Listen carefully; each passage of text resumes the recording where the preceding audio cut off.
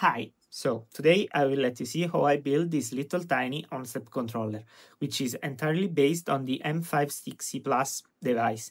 So you don't have to solder, you don't have to do anything, rather than buy this little controller on Amazon for like 20 bucks and install my little code to use it.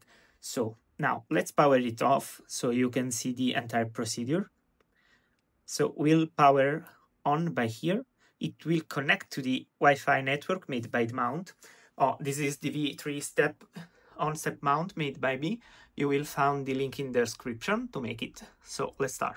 Here you will move RA, here you will move DEC, and here you will change speed. So we are at speed 4, so a little slow. Let's go by double clicking very fast to speed 9. Okay, so like you see, you have to click more time because like if you uh, hold, it will power off. So let's start. So if we want to move RA, we will press this button and you will see moving east.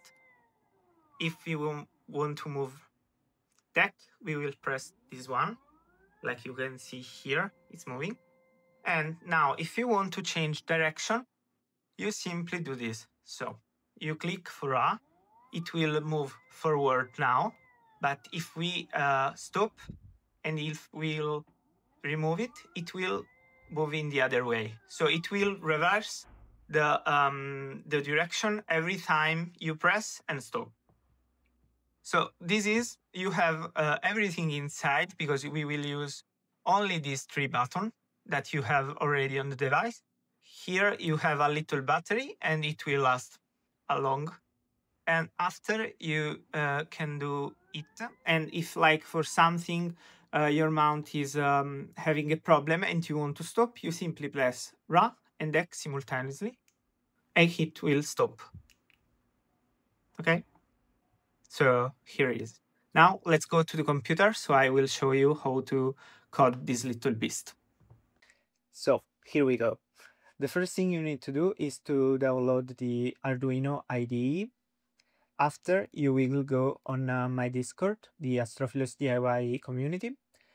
Here on the new videos, you will find here the link to the video you are watching now. And after, uh, I will uh, paste the Arduino code. After you copied the Arduino code, you go on the Arduino IDE. You simply Ctrl V, Ctrl C and after we have to set the board. So here you will open uh, this little um, box. Here you will uh, select M5 thick C plus 2. You will connect your board and you will here will see the COM ports. Mine is the 4, so let's put the uh, M5 to the computer. And after we will see here the board. Now it will not connect because it's connected to the mount. And after you have to simply uh, click here on upload. It will take like five minutes, six minutes. And after uh, you're okay because uh, you don't need to modify anything unless you changed, sorry, unless you changed the OnStep SSID or the password. Okay, this is the basic uh, OnStep password, IP, and so on. Uh, you will see the comments are in Italian because I am from Italy. Uh, and so this is, if you want to change something, you are free to change, free to share everything. Everything is open source for free. So that's all. Ah, the last thing, you will have to upload and to use this library. So you will have uh, to go uh, on, uh, if I remember correctly, uh, tools and after you will select the library you will uh, select and insert this name.